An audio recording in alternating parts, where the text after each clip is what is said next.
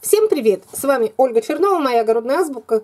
Сегодня 12 января, и сейчас я постараюсь выбирать время для ответов на ваши вопросы в комментариях, для обсуждений. И не только для ответов на вопросы, а я много раз говорила, что иногда я начну освещать тему, но я же живу в одном регионе и сужу только как со своей колокольни. А некоторые люди добавляют еще комментарии с различных, с других регионов, еще дают советы другие и это очень полезно в преддверии вот посевной, в преддверии начала сезона вычитывать все эти их ответы, и я буду вас знакомить с ними.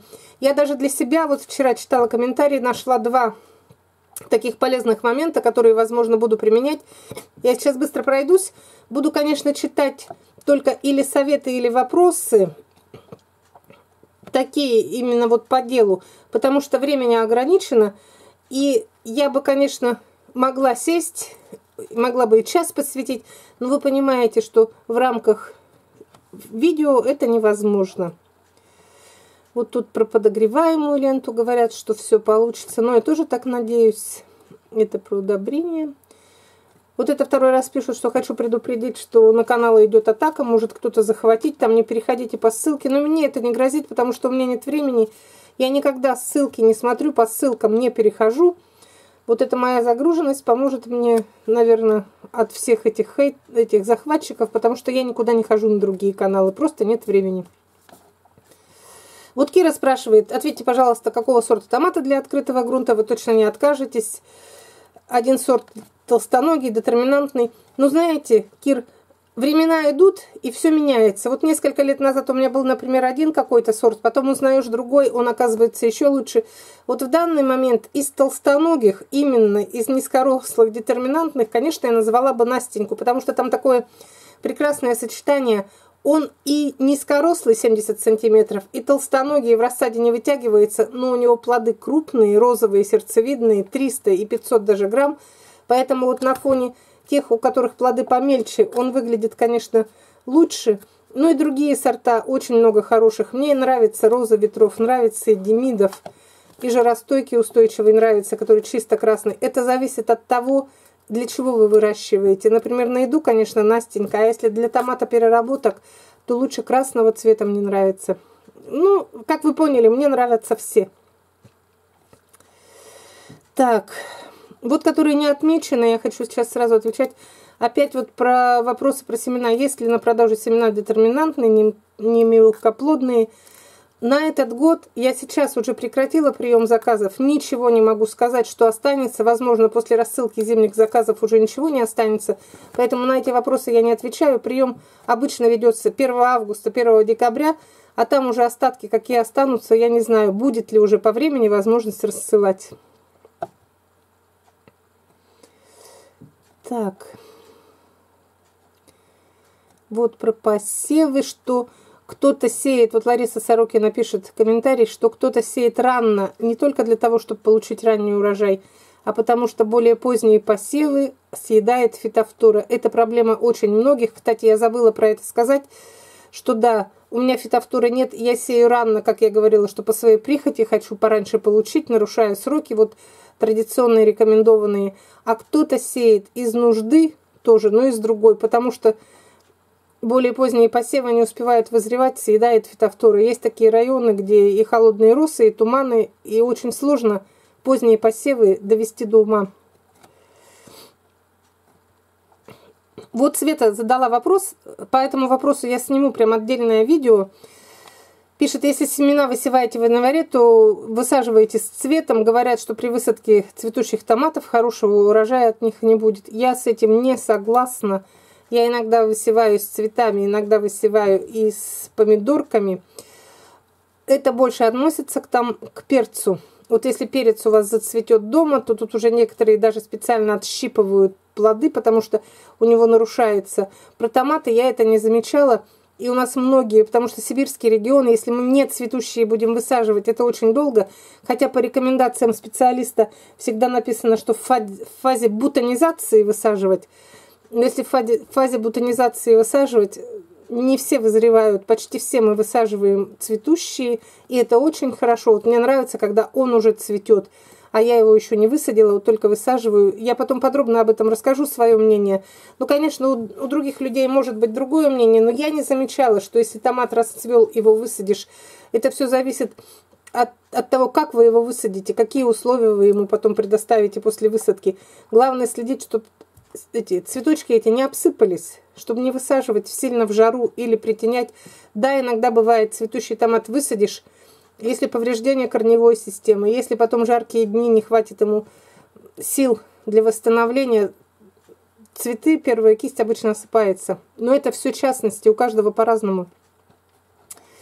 Вот Ирина Байнова пишет про лунный календарь, что в этом году не очень благоприятный лунный календарь, что те дни, которые обычно мы всегда сеем, они неблагополучные.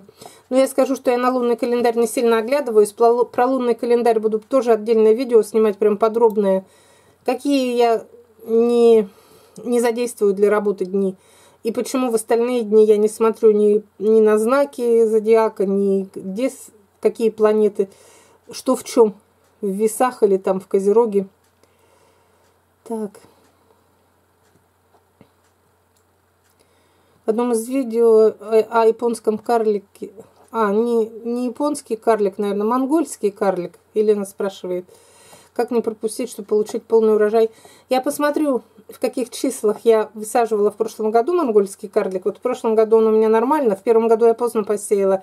В прошлом году дата была оптимальная. И я в одном из видео назову даты посева, когда я сеять буду. Вот тут опять Маргарита пишет про семена. Хотелось бы немного сортов.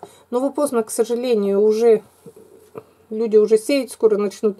И рассылка заказов у нас скоро уже закончится, а тем более приема уже нет. Теперь только на будущий год, 1 августа. августа. Тут, ну, это вот то же самое. О заказах уже не говорю, не принимаю никакие пока что заказы. Так, это про артроз уже, про лечение, это личное сообщение. Пишет Галина Голубенко. Оля, я не пойму, вы уже восстановили свою рухнувшую теплицу? Знаете что, тут какое восстановили, мы туда даже теперь проползти не можем. Нас же завалило по пояс. Она вся, всю эту раздавленную теплицу присыпала снегом. Даже не видно места, где она была. Ее в лепешку, видать. Ну что, ее восстановить можно как? Собрать и выкинуть. Все, на это место поставить новую. Мне кажется, она восстановлению уже будет не, непригодна. Нет, конечно. Вот пишут, у меня муж каждый после каждого снегопада ездит счищать снег. А у нас ветер резко так начало валить. И день, и ночь, и день, и ночь. И за ночь навалило столько снега, что не успели просто утром даже туда пойти. Так.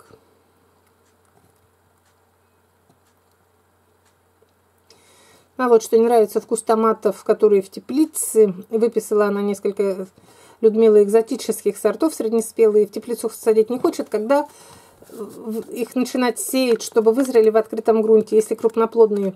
У нас крупноплодные мы начинаем сеять, тоже Сибирь, в первой декаде марта, в конце. Я уже говорила, вы если бы, ну, предыдущий, наверное, ролик не смотрели, после праздника 8 марта, вот 9, 10, 11 мы начинаем посев вот этих крупноплодных. Но кто может рассаду сохранить, или кто иногда высаживают под пленочку на улице пораньше, в ранние сроки, даже с первых чисел марта сеют – это у каждого свое, кто как... Ну, конечно, нужно приспособиться. Один раз посеешь, на следующий год смотрите вы, подходит этот срок вам или нет. Я вот сейчас за три года посмотрела мои тетради, вот эти даты посевов. И всегда первые посевы 28-29 января. Раз я их не меняю три года, значит, это уже как стабильность. Один и тот же срок, значит, у меня выработался постоянный вот этот срок первых, это для получения суперраннего урожая в теплице. И вы также для открытого грунта, посеяв один год, на следующий год корректировку сделаете, и вы обязательно найдете ту дату, которая будет для вас идеальна. Ну, тут про рассаду как закаливают.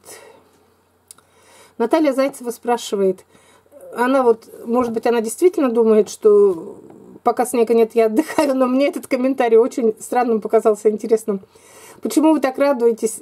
Отдыхайте, пока нет снега. Ну, знаете, когда нет снега, сидение за компьютером по 10-12 часов, это не очень отдыхом назовешь. Я, наоборот, жду, когда снег закончится, вырваться на волю, чтобы не сидеть, не портить глаза за компьютером. Потому что чтение вот этих писем многочисленных, ответы, печатание вот этого текста, все это, все это, все это требует еще большего. Мне нравится на природе в огороде работать больше. Там я отдыхаю. А здесь действительно уже как такое. Кто-то напишет, не ответишь ему один раз. Уже пишут второй. Я вам написала, вы меня игнорируете, не отвечаете. Они не понимают, что это тоже очень сложная, сложная работа. Сидеть, писать ответы людям разные. Иногда бесполезные. Тратишь время на ответы просто какие-то... Иногда я даже не могу понять вопрос, который мне задают о чем он, к чему. Так вот и это радуйтесь, отдыхайте, пока снег. Я не отдыхаю. У меня после сейчас работы за компьютером, после посевы, потом огород. И вот именно огород я считаю своим отпуском, своим отдыхом. Именно там я восстанавливаюсь. Потому что без солнца сидим всю зиму здесь. Какой здесь отдых? Нет солнца, нет свежего воздуха в частном доме на улицу выйдешь, постоишь в огороде пять минут назад. Так, все. Вот Елена пишет, сделала дуги из металла пластиковой трубы. Кстати, мы из них, вот когда покупали на водопровод, я думаю, что они тоже идеально подойдут, вот эти дуги делать сейчас под пленку. Почему-то я ни разу к ним взор свой не обращала. Сейчас думаю, да, они же без заусенцев, это не металлическая, которая чуть что, и там она рвется пленка. Они идеальны, наверное, вот на эти дуги. Если в следующий раз буду дуги покупать, то тоже, наверное, металлопластик попробую. Пишет Ольга Васильева. Я была 30 лет простым огородником, посмотрела один раз Ольгу Чернову, стала томатозависима. Дочь смеется, в маму вселился томатный бес. Мне нравится, когда вселяется томатный бес, пусть он у нас сидит дольше. Ну вот и Лидия отвечает правильно. Ваша дочка не права, вам Господь Бог помогает такой трудоемкой, но любимой работе. Что-то мы дальше не продвигаемся почему-то. Ну-ка. Видите, у нас интернет какой. Не могу двинуться дальше. Вот двинулись. Пишут про привикур, Людмила. Чем можно заменить этот препарат? Не нашла в магазинах. Выписывать его одного нет желания. Но если вы не нашли при... привикур, ну, можно другими пользоваться. Как-то до того, как привикур, я вот нашла тоже чем-то же пользовалась. Всякими и фитоспорином люди обрабатывают семена и землю, и ну, короче, препаратов, я уже снимала видео, чем можно протравить, чем можно обеззаразить. Привикур это же не единственный препарат, просто он единственный, который облегчает нам труд, что можно одновременно и землю, семена протравить.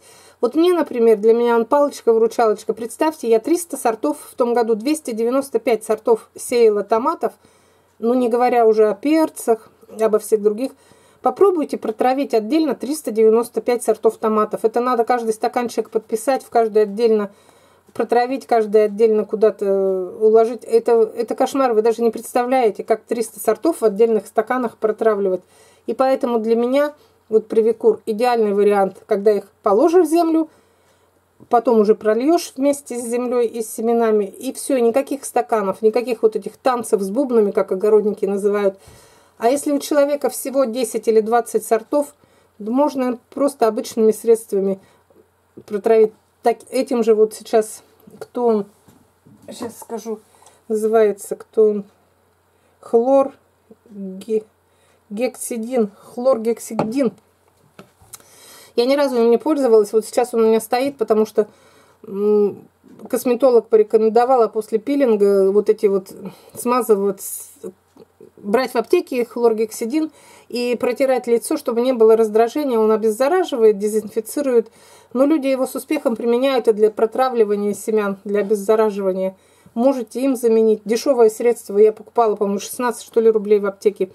Правда, я на него никогда не смотрела как на огородное средство, просто как аптечное всегда вот используем. Вот в косметологии его широко используют именно перед процедурой, после процедуры.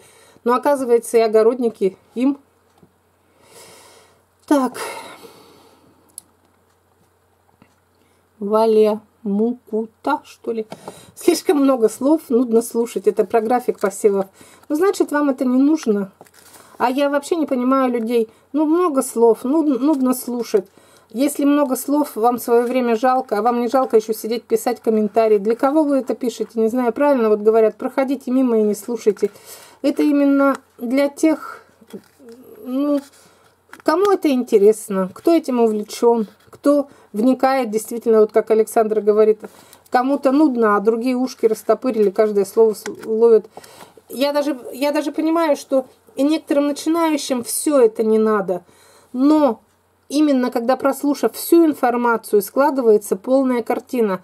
И они уже хотя бы могут, как сказать, отличить свои действия от действий моих. И они поймут, например, что от первого шага в огород и для полного вот такого внедрения вот в эту огородную стихию нужно пройти много-много-много шагов, но нужно много мелочей знать, на многое обращать внимание. Так, тот же график посева, вот одна зрительница написала, я не заморачиваюсь, все сею в один день. Я всегда говорю, можно и так делать. Мы ведь тоже все это прошли. Я когда работала, было двое детей маленьких. Или когда грудной ребенок, ну некогда все эти графики рисовать, схемы, тоже делали вот так. Но опять же, я вот сейчас, оглядываясь на 30 лет назад, на 25 лет назад, это было все быстро, это было все наспех, но никогда не сравнишь тот урожай, который я раньше получала, когда делала вот так, один посев, без всяких там заморочек, сильно ты не смотрела, что сеяла, купишь в магазине, бросишь, и никогда не сравнить вот тот урожай, который при том способе выращивания я получала, и который сейчас, вы видели, там и подвалы завалены, весь огород в помидорах, это все пропорционально. Как мы отнесемся к растениям, сколько мы затратим время, так и они нам столько отдадут. Поэтому вот эти все мелочи, вот эти все подробные подробные разжевывания и рассказывания направлены только для того, чтобы человек понял, что можно получить, сделать дежурный уход, получить обыкновенный минимальный урожай, но можно сделать вот такой уход, когда, как я говорю, проникновение и уход, и можно получить такой урожай, который, возможно, вы даже и не ожидали от этих растений получить. Некоторые и правильно говорят, что никогда в жизни таких урожаев не видели, даже не думали, что у нас на участке можно столько вырастить, а это можно. Я первые годы, когда купили дом, и когда мне муж спрашивал, ну, что ты там что-то делаешь в огороде? Как... А я ему всегда говорила, ой, ну, что там делать, что зря заморачиваться? Все равно у нас такая земля, ничего там не вырастет. Зачем я буду тратить свое время? Я вот так думала, что действительно, что это зависит от огорода, что мне достался вот такой, ну, 21 год был, что мне достался такой огород, что не стоит даже усилий прилагать и что много лет на нем уже выращивали, все там высосалось, никто ничего больше там не даст мне эти растения. Но сейчас, по прошествии 30 лет, оказалось, что огород-то и не виноват, это как про ту мартушку. Нечего на зеркало пенять, коль рожа кривая. Я сама ничего не хотела делать, потому что были увлечены другим выращиванием детей, работой. Выходные уезжали всегда за город с друзьями, все. Огород был на последнем месте. И вот только когда я огород поставила на первое место, когда уже дети выросли, когда уже время много свободного, работы нет, тогда я поняла, что огород-то он действительно, земля кормит, она может кормить, и она может через даже 50 или через 100 лет, вот у меня дом построен в 905 году, был старый, но сейчас мы построили новый, больше 100 лет на нем уже люди этим огородом пользовались, всех он кормил, и сейчас меня кормит, и будет еще, наверное, моих, моих потомков кормить. Ой, я как начну, про... меня надо останавливать, правда, я сама не замечаю, начинаю все дальше, больше, глубже, как, как это называется, проникновение очень глубокое. Могу говорить бесконечно. Ладно, дальше читаем. Вот Ольга написала 9 мар- марта полнолуние, и предыдущая зрительница тоже говорила, что нынче придется подстраиваться или до 8 там за неделю, или после 8 что те традиционные сроки, которые мы каждый год высевали, нынче лунный календарь подгадил нам, и в это время выпадает полнолуние. Я его еще не смотрела, буду смотреть подробно, вам все расскажу. И, конечно, расскажу, куда я смещу, на раньше или на позднее.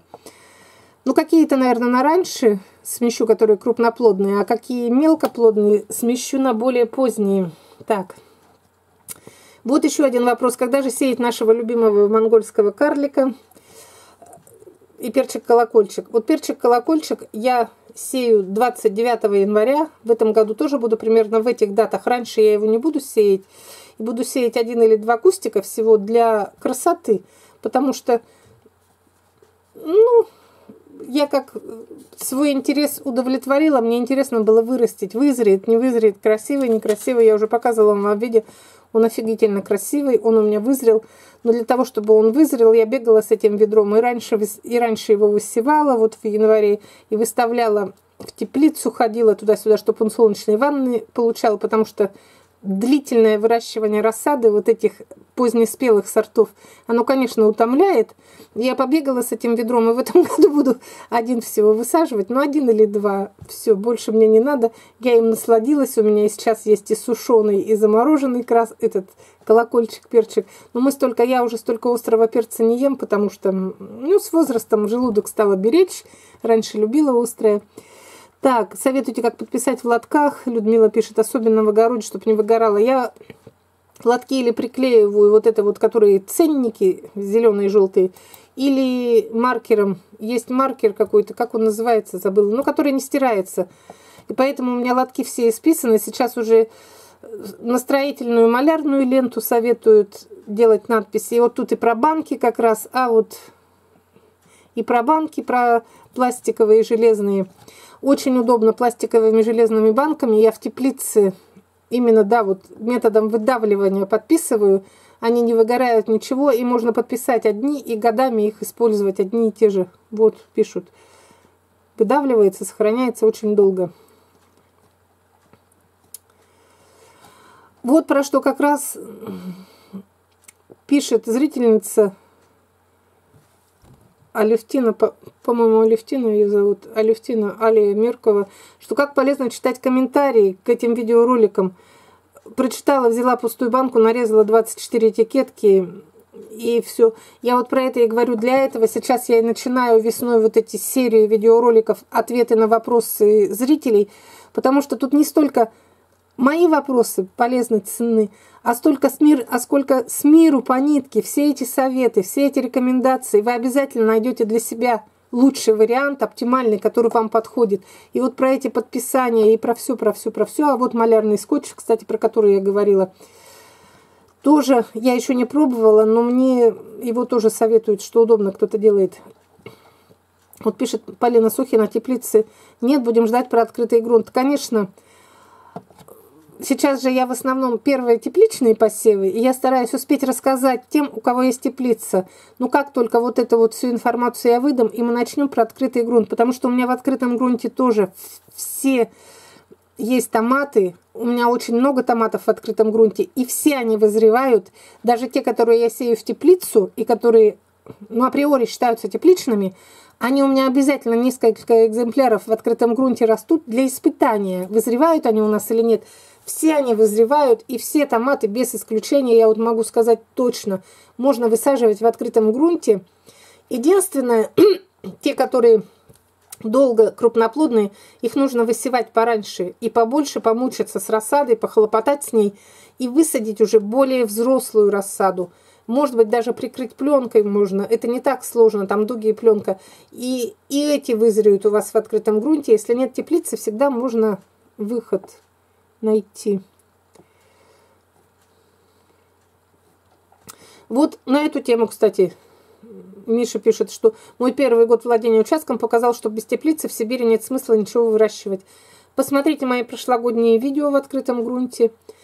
Сколько там томатов спелых, сколько прекрасных вызревает и Вова Путин и загадка природы, не говоря уж о Бердске крупный, не говоря о Кенигсберге золотом и красном. Любимый праздник вызревает – этот король гигантов вызревает, Анжела гигант Инна, все крупноплодные, вот эти здоровые бычьи сердца, все вызревает. Ну, а про пальчики и мелкие я уж не говорю, про дамский пальчик, вот про эти всякие банан оранжевый, перцевидный оранжевый, все вызревает. Даже в том году высаживала вот эта оксаканская драгоценность, биколор новый, новинки, потом это черно-голубой хребет, это синий, потом ну, короче, не буду перечислять, время тратить. Все, что я высадила в прошлом году в открытом грунте, и полосатый шоколад, и негритята, и зеленоплодные, все вызрело. Все, все, все.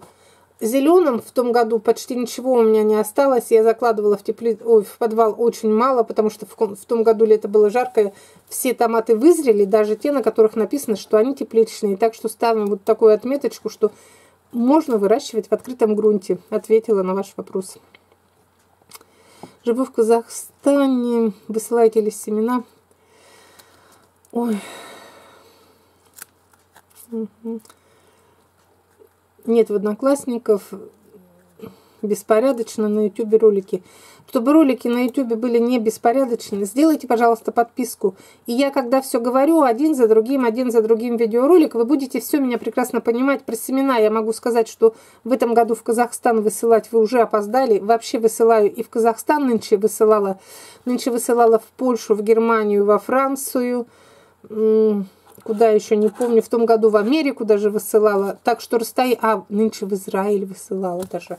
Потихоньку скажу, потому что высылка семян через заграницу, она запрещена. И мы в какой-то мере вот делаем нарушение закона, потому что каждая страна не хочет, чтобы им засылали какие-то свои семена. Вдруг там разведут население что-то, не знаю, короче. Высылаю везде, пока еще получается. Не знаю, сколько это будет длиться. Может быть, когда-то будут на таможне сильно проверять, не будем высылать. Но в Казахстан в этом году уже поздно. Ну и вот тут совершенно согласна. Александра, вот наша постоянная огородница, про которую я говорила, она тоже очень опытная, обладает таким багажом знаний. Она совершенно согласна со мной, когда я сказала, невкусных томатов не бывает. И мне даже обидно иногда за томаты, когда вот сейчас про Демидова пишут, что Ой, высадила тимидов. Всего две помидорки, да такие невкусные. Сорт говно. Не буду больше.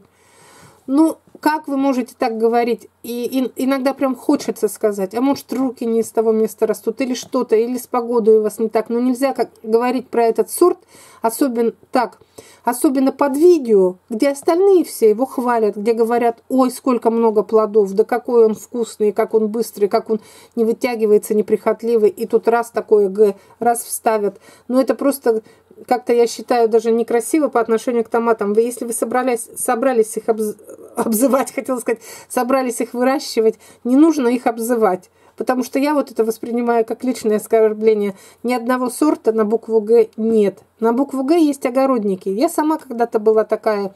И у меня не все томаты получались, оказались невкусные, что-то мы все кис... привередничали.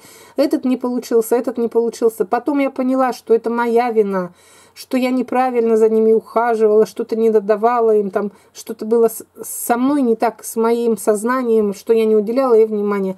Поэтому, еще раз повторяю, и вот Александр со мной согласна, что невкусных томатов не бывает, а вы сделаете так, чтобы они были у вас все вкусные. Тогда вы будете гордиться собой. И томаты вас полюбят за такое отношение к ним. Не надо их обзывать. Некоторые прям пишут, ой, кислятина или еще что-то. Меня аж коробит от таких выражений. Да, бывают с кислинкой. Так лучше скажите, что у меня в этом году томат получился не очень сладкий, с ноткой кислинки. Можно же как-то культурнее выражаться, но не обзывать же их. Они такие же, как мы им тоже дали вот, дала не знаю, кто там, Бог, правда, Богу не очень, но дала судьба один раз вырасти и вы его так ну, больше не буду сеять, прекратили все его потомство, на корню обрубили. Нет, надо пробовать на следующий год еще раз, и надо добиваться, чтобы томат на второй или на третий год сдался под вашим натиском и стал самый-самый вкусный. Все. Опять посев очень ранний, ведь если спасли свои томаты, которые росли под снегом, охота пуще неволи, выводы правильные – так сев очень ранний, а я уже вам говорю, поздний сев, он бесполезен, чтобы потом зеленых лягушат по осени ходить собирать. Лучше я со снегом поборюсь в тот период, когда они там сидят в тоннеле, чем, ну, хотя за, зато хотя результат какой-то виден. При поздних посевах, не знаю, у нас в сибирском регионе проблематично. Я же иногда заглядываю в соседские огороды, где у кого-то, да, есть красные, а кто-то вообще не может до полного вызревания в открытом грунте добиться. Сею все в начале марта, вот пишет Валентина. Раньше у меня перерастали, если жила бы в своем... Перерастают. Если бы жила бы в своем доме, тогда, конечно, сеяла бы так. Смотрела лунный календарь, там указаны дни хорошие, но все семена нельзя брать, будут некачественные. Подскажите, пожалуйста. Но я еще раз говорю, про лунный календарь я расскажу. И по своему опыту знаю, что я же вот, я вам показывала, что сею почти каждый день, и так, и так, и так, то, то семена, то помидоры. Из-за больших количеств посевов сею каждый день, и потом беру себе растения вообще из разных партий, со с разных сроков. Но я не заметила бы никакой разницы, что какая-то есть у них, может быть, где-то там на каком-то глубоко молекулярном уровне что-то у них такие есть изменения. Но это про лунный календарь буду отдельно. Это очень такая тема. Тут, когда начинаешь говорить про лунный календарь, кто-то начинает ну, прям с пеной у рта доказывать, что только по лунному календарю, иначе ничего не получится, иначе нельзя. А кто-то, особенно кто в деревнях, кто и так замучен тяжелой работой, там, кто работает, например, на ферме или где-то там, да в поле, какой им соблюдать лунный календарь? Посеют тогда, когда сил хватает после рабочего дня прийти и что-то воткнуть. А они вообще говорят, мы никогда не смотрим на лунный календарь. Но я сейчас не буду распространяться, у меня есть свое уже давно сформированное мнение про лунный календарь. Я никогда, я никогда не выхожу в огород, но это из-за того, что я темная такая суеверная женщина. А так я сею хоть когда. Так, тут семена получили. А, удивительная интуиция. Хотела попробовать перцевидный желтый, аметистовой драгоценность угадали. Кстати, часто почему-то так получается. Думаешь, какой добавить? А вот этот вот. И человек пишет, а я как раз ее забыл заказать. Это, наверное, тоже это чудеса. Лунный календарь помогает угадать. Так, рассказываешь все правильно, очень подробно, не обходя важных мелочей такое правильное представление даешь, что хочется погрузиться в эту работу. О, повторила прям Люба, любовь мои слова, что полное погружение должно быть. Людей, людей недовольных в любом случае будет очень много, называют троллями. Все, все пишут не обращать внимания, но я такой человек, я не могу. У меня, как это, как про таких говорят, тонкая душевная организация. Вот прочитаю плохое слово, меня аж ну, как будто лично знакомый какой-то, хотя говорят, что это чужой человек, он вообще ничего о вас не знает, если он написал плохое, это даже и не лично вам, а вообще такое его мнение, меня все это волнует. Не поверите, еще года два назад – Иногда и плакала после комментариев плохих. Вечером ляжешь, вспомнишь, ой, какие люди злые, и поплачешь маленько. Но потом думаешь, ладно, завтра начну все сначала. Конечно, потом забывается, оптимизм ничем не убьешь, ни такими комментариями. Сейчас стало воспринимать намного легче, но все равно так обидно. Иногда напишут что-нибудь, ну, вот как я говорила, что ой, много говоришь, много трепотни так обидно становится. Ну, стараешься ну, рассказать все, все, все. Вот что вспомнишь даже, ой, вот это забыла, вот это забыла. А оказывается, это для кого-то трепотня. Ну, конечно, это значит не наш пассажир, он, значит, не такой огородник, в него еще не вселился огородный бес, как у нас. Я его не буду теперь воспринимать. Вот, Демидов вообще не понравился, Лида пишет, ни в теплице, ни в открытом грунте больше не буду сажать. Монгольский карлик тоже не понравился, это надо быть таким чудаком, и сколько хороших сортов. От здрасте, мордасти. А некоторые люди пишут, что кроме, например, монгольского карлика, они в своих регионах, в своем районе, и кроме Демидова, вообще ничего вырастить не могут. Если нет теплицы, если нет погодных условий, ни о каких крупноплодных, ни о каких мясистых бифтоматы речи быть не может.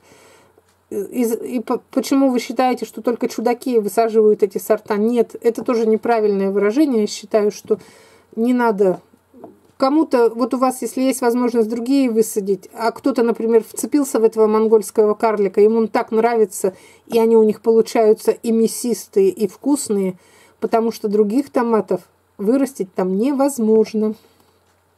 Как подогревается грунт? Это, смотрите осенние видео, грунт, две системы подогрева установили. Одну – это фабричную греющая лента с завода выписывала, а вторую укладывали сами греющий кабель, который устанавливают в полах, в ванной или где-то для подогрева, который потом заливают бетоном, а мы засыпали землей. Тема очень интересная. Я сама в волнении, что у меня получится, вырастут ли там мои чудо-помидорки раньше на полмесяца или нет. А может быть вообще электроэнергию отключатся, я буду бегать вокруг этой теплицы, как бешеная, дышать на нее, дуть теплым воздухом изо рта согревать. У нас кошмар, у нас такое испытание, когда электроэнергия отключается и думаешь, ну что делать, чем греть, хоть собой прикрывай. Так, Пишет Надежда Клюева, риск благородное дело. Я в этом году рискнула и не пожалела. Сажала в конце января для раннего урожая. Не пожалела, кушала в начале июня, когда у других только цвели. Понянчилась с ними, конечно, но это не без этого. Но это того стоит. В этом году буду опять рисковать. Расписала тоже примерные графики. И первые будут 24 июня, ой, января, так же, как у меня. Так, ну, что у нас, наверное, время уже много. Да. Что-то я разговорилась сегодня. Я просто очень долго не отвечала на комментарии, на вопросы. Мне это так нравится. Я так люблю вот разные мнения, как читать даже, для себя даже думать. Какие же люди бывают разные. Вот видите, кто-то считает вообще чудаками тех, кто выращивает демидов и монгольского карлика, а кто-то пишет наоборот – как я радуюсь, что, для, что я нашла семена монгольского карлика. Он нам так, так подходит, он такой хороший, рано зреет и такой неприхотливый. Не надо ничего с ним делать. Воткнул и ушел. Для работающих особенно. Вот видите, как многогранен вот это вот общество многогранных огородников. Кто-то радуется всему, любой помидорке. Я вот сейчас вспоминаю эту Елену из Израиля, которая пишет, две помидорки получила маленьких, и этому рада а кто-то пишет, что ой, эти помидоры такие нехорошие, мало дали, там не столько килограмм, сколько нужно. Видите, как говорят, что у одних что? Какая-то есть поговорка или пословица, у одних жемчуг мелкий, а у других что-то еще. Ну, короче, мы все судим, каждый со своего, ну как, в меру своего опыта, наверное, в меру своих условий, у кого-то благополучные, благоприятные условия, тем вот какие-то простейшие томаты кажутся вот низшим сословием. Ну нафиг они нужны, вот эти все скороспелки, мы будем вот эти выращивать. Ну мы же все живем, страна большая. Я, я знаю, что есть там такие области, вот у меня выписывают же люди, где заказывают только вот эти вот толстоногие, неприхотливые, эти детерминантные, желательно штамбовые, которые очень быстро, пусть они мелкие, но хоть какие-то. Люди некоторые хотят хоть каких-то помидорок. Она говорит, я их хотя бы зелеными сниму, они хотя бы успеют завязать, сформировать плод зелеными сниму, занесу скорее домой и на окне дозариться, потому что ну, нет условий вообще для выращивания томатов. А у кого-то благодать. Ну ладно закончу, наверное, вот, вот на этой такой, на этом шутливом комментарии. Спасибо за труд, за неравнодушность.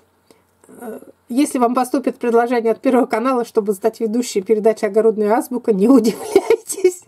Но я скажу сразу, никуда не пойду я ни на какой первый канал, даже если поступит не на второй. Я останусь с вами в своем огороде. Я уже там вросла, как в меня вселился томатный бес, и никуда я с места не сдвинусь. Буду радовать вас своими роликами, но опять же радовать это сказано громко, кого-то радовать, кого-то бесить, для кого мой разговор трепотня, но все-таки больше тех, которые томатозависимые у нас, кто еще не зависим, тех я подсажу на томаты.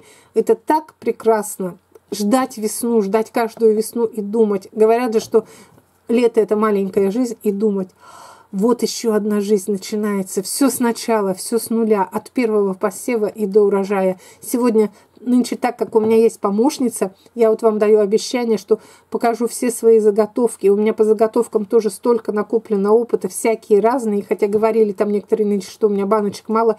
У меня специально одна комната в подвале полностью банками. По 300, по 400 банок делала, когда ну, когда еще не отделились дети по очень много очень много делала заготовок. Какие-то есть, которые мне нравятся, какие-то делаю просто для массового потребления. Вот супы варить, там гарниром добавлять. Постараюсь нынче все рассказать и начну прям делать это на самых первых томатах, потому что я когда некоторые делают же заготовки поздно осенью, а так как у меня томатов много, мы когда первый урожай мы наедаемся, например, июнь, начало июля, и потом я уже начинаю заготавливать. То например, эти томаты по-корейски можно уже закатывать, можно уже делать эти первые перцы наелись, потом уже можно лечи заливать вот этим томатным соусом.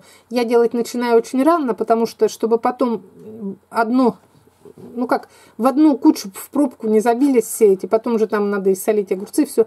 Постараемся все это мы изучить, особенно для начинающих хозяек, потому что я больше чем уверена, что очень экономит бюджет, все эти заготовки с огорода, все надо, надо же не только вырастить, все-все заготовить и для супов, и для соления, и для варенья, и заморозки. Вот у меня до сих пор еще замороженный перец лежит, могу в любой момент взять, обжарить, например, с куском мяса пожарить перец, и замороженные в пакетиках помидоры, передолбленные, перекрученные, все еще есть.